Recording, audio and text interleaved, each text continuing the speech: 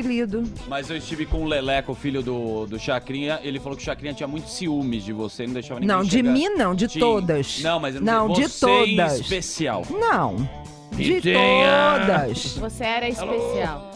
Não sei se eu era a especial, mas eu tentava ser, porque eu acho que é porque eu sempre fui meia. Você cara de viajava no pau. busão com ele, com o Chacrinha? Eu viajava de carro, nego. Carro? Ele tinha um landau. Ó. Então era o motorista, o melão, aí vinha ele e mais uma chacrete na frente. E atrás ia quatro. Que beleza, Beleza, hein? Legal. Olha que rolê. E ele chegava junto ou não? Respeitoso? Não, ele Nunca. era pai, nego. Ele era pai, sempre foi paizão. Sempre foi paizão. Mas pai de nunca- quantos, filha? Ah, era 18, 20 mulheres, bem. Imagina. Papaizaço, era o. Paizão! Pai de miss. Esse aqui no colinho do papai. alô. Não, Deus me livre, coitado do bichinho. Respeitoso, respeitoso. Qual que você acha que é a diferença